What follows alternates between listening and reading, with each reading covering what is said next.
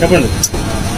ఈరోజు మాజీ స్పీకర్ గారు మా బావగారు అయినటువంటి కొడల శివప్రసాద్ గారు చనిపోవటం కొన్ని ఛానల్స్లో ఆత్మహత్య లేదా ఆయన తుపాకీతో కాల్చున్నారు లేదా ఇంకోటి ఇంకోటి చూపిస్తున్నారు. నాకైతే మాత్రం ఉదయం చూసిన దగ్గర నుంచి నేను నమ్మలేని పరిస్థితిలో మరి నాకు అది ఏ రకంగా ఆలోచించినా కూడా అది ఆత్మహత్య కాదు ఆయన హత్యానని చెప్పి నాకు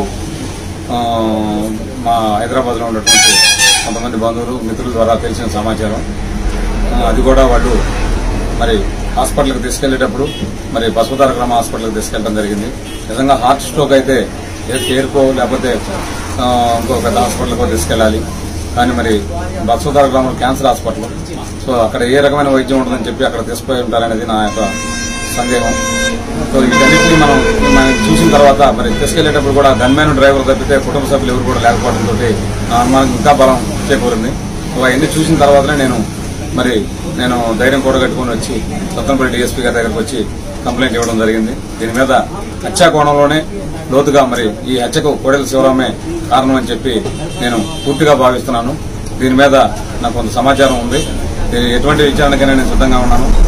ఈ- ఈ కేసుని హత్యా ఆత్మహత్యగా కాకుండా హత్యాకోణంలోనే విచారించి మరి పోలీసులు దర్యాప్తు చేయవలసిందిగా నేను కోరుతూ మరి మీ అందరూ కూడా మీ అందరి ద్వారా కూడా మరి ఆయన వృత్తిపై అది ఆయన ఒక కుటుంబానికే కాదు రాష్ట్రం మొత్తానికి సంబంధించిన విషయం.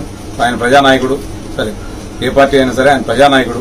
సో ఆయన హత్య అందరిలో కూడా ఆందోళన ఉంది కాబట్టి దాని మీద మరి ప్రభుత్వం కానీ తెలంగాణ ఆంధ్ర రాష్ట్ర ప్రభుత్వాలు కానీ మరి పోలీసు యంత్రాంగం కానీ మరి హత్యాకాండంలో దర్యాప్తు చేయించి మరి దీని మీద నిజా నిజాలు నిర్ధారించాలని చెప్పి నేను కోరుతున్నాను.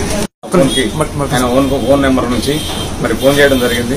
ఆ సందర్భంలో రెండు మూడు సార్లు కుమారుడు యొక్క ప్రవర్తన గురించి నాతో మాట్లాడడం జరిగింది. అప్పటి నుంచి నాకు కొంత అనుమానం ఉంది.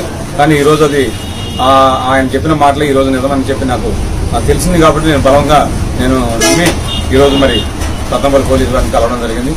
దానికి సంబంధించిన నాకు దగ్గర ఉన్న సమాచారం పోలీసుకి ఇవ్వడం జరిగింది. ఆ కోణంలో దర్యాప్తు చేయమని నేను వాళ్ళని రిక్వెస్ట్ చేయడం జరిగింది.